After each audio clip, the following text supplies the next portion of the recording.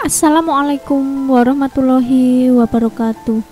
Jumpa lagi dengan channel Sejuta Kisah yang setiap hari selalu menghadirkan cerita-cerita menarik. Kali ini kami akan berbagi cerita yang berjudul Mata suami memerah seperti menangis saat istri cek dompet.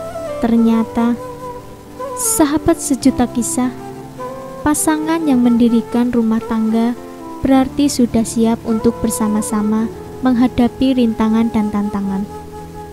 Suami bertanggung jawab memberi nafkah untuk keluarga bagaimanapun juga, hingga ada yang rela mengambil lebih dari dua pekerjaan semata-mata untuk memenuhi segala kebutuhan. Istri pun juga punya tanggung jawab memahami dan kalau bisa membantu suami. Seperti kisah yang diceritakan di halaman Facebook info ibu hamil ini yang mencuri perhatian warganet. Ramadan hari kelima, kandungan masuk bulan kelima pula. Alhamdulillah sehat dengan izin Allah. Bila lihat suami menangis sebab uang gaji tidak cukup menutup itu ini, saya hanya diam.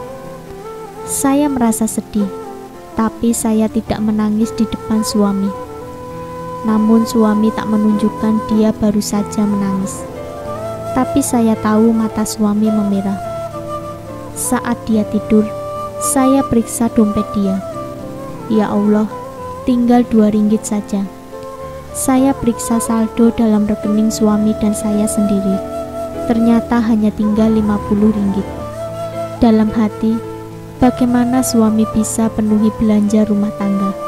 Masih dua minggu lagi baru terima gaji. Di akhir pekan suami ajak balik pulang kampung. Saya tahu suami ingin pinjam uang dari orang tuanya. Saya diam, tidak banyak tanya.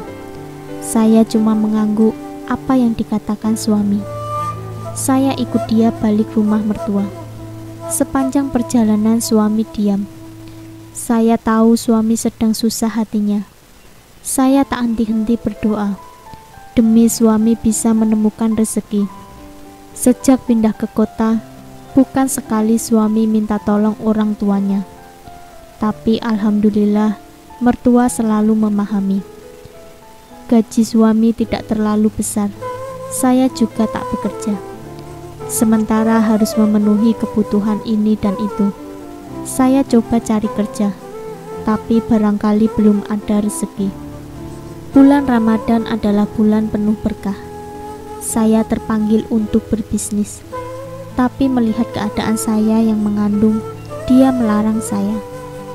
Tapi saya yakinkan dia saya sehat, saya bisa bantu dia. Saya minta dia beri izin dan doakan saya. Alhamdulillah suami setuju. Dia tahu saya penat, tapi saya sembunyikan perasaan itu. Sebab itu dia selalu bantu saya tanpa saya suruh. Sambil menolong saya, ada kalanya mata dia tidak berkedip pandang saya. Saya tahu dia sedih, tapi saya buat tak tahu saja.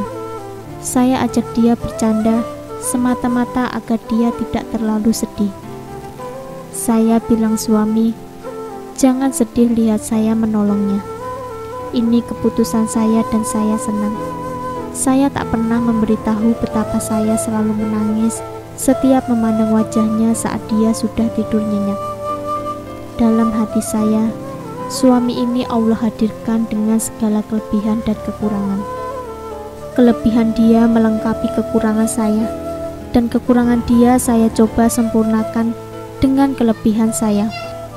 Tak pernah mengharap yang lebih baik, karena kebaikan akan datang jika kita memberi kebaikan.